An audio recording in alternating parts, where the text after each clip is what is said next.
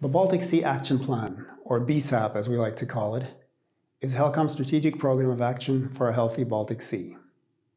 The BSAP addresses four key issues, namely eutrophication, biodiversity, hazardous substances, and maritime activities.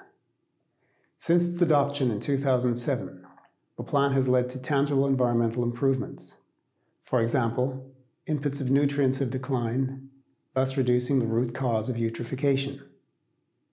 What's more, some components of biodiversity are now in a much better state, as is the case for some seal populations.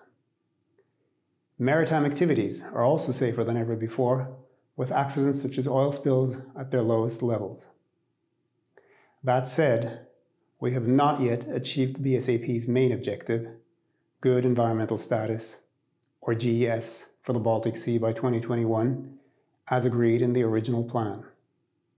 But because the BSAP has, nonetheless, delivered unprecedented results, the HELCOM ministers have decided to update the plan in 2021. An evolution rather than a revolution, the update will also be the opportunity to adjust the current actions for better results and to incorporate new ones on emerging or previously unaddressed challenges. These are, for instance, marine litter and plastic pollution, pharmaceutical residues, underwater sound, disturbance to the seabed, and of course, the effects of climate change.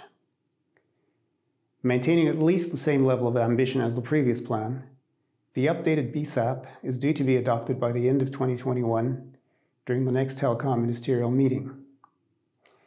Implementing the updated fit-for-purpose Baltic Sea Action Plan will enable us to reach our objective of achieving good environmental status for a healthy Baltic Sea.